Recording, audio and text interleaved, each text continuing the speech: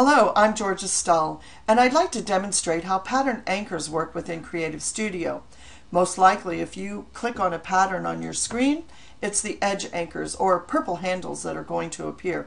Quite frankly, these are the handles that I think you'll use the most as you manipulate patterns. How do all of these handles work? Let's start with that center circle. As I hover over the center circle, notice that my cursor becomes a small crosshair.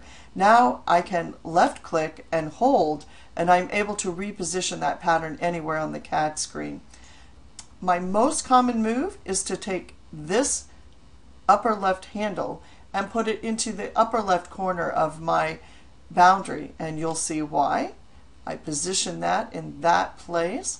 Now I can grab the opposite handle because this is an edge anchor. It will fix or not move from this corner, I can grab this corner and notice how it fills the space, a lot of the space with just one movement. Did you notice that my height and width both changed and they changed proportionally? That is because I used my square anchor. Any of these square anchors will produce the same result. But now I'm in a position where I need some height, I don't need some width. That's when I move to my wedge anchors. A wedge anchor will again stay fixed on the opposite side. I'm able to pull down and now I gained some height but it did not adjust my width. Likewise I can use the right or left wedge and I will gain some width but it won't affect the height.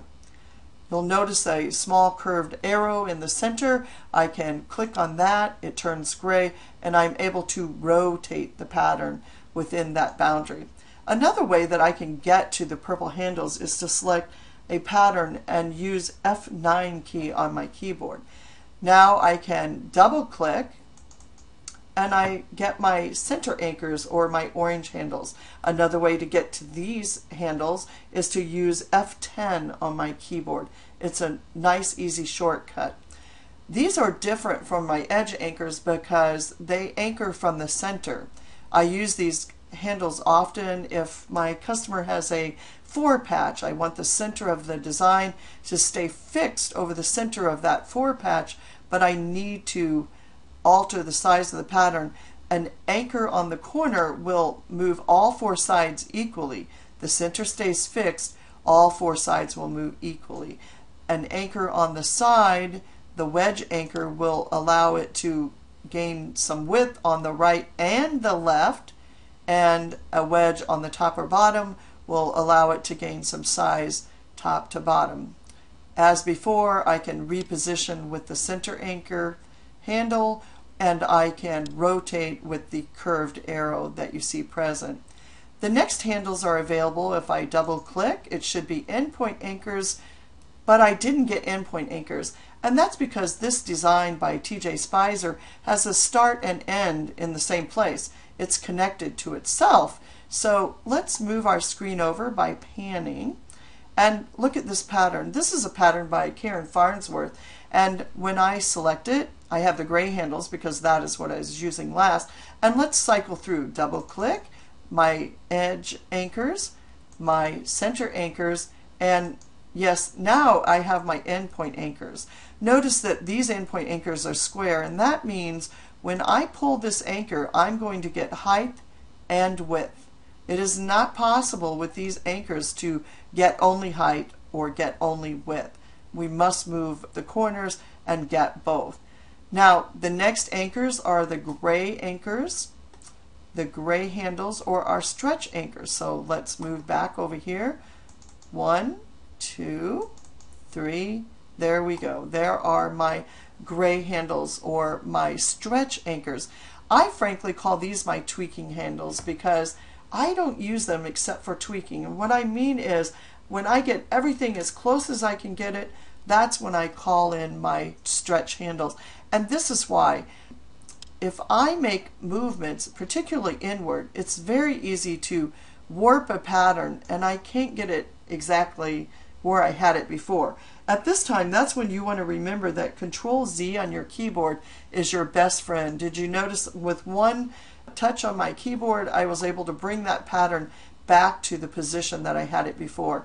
I found that for the most part, You need slow, steady movements, tiny movements actually, that um, allow you to make changes and stretch and don't cause it to get way out of whack.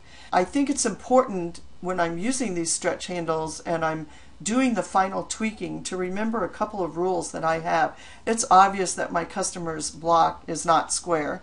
I don't know about you, but that happens quite frequently to me. And I want to be sure to give the illusion that my customer's um, quilt block is square though. So two rules I have is if there are arrows that point to something, in this case the corner, I'm going to make sure that yes, it does point to something. This one doesn't quite point to that corner. I can make a small adjustment so that it does point to that corner. The other rule I have is that any part of the pattern that comes in contact with the outside boundary needs to be evenly in contact with that boundary.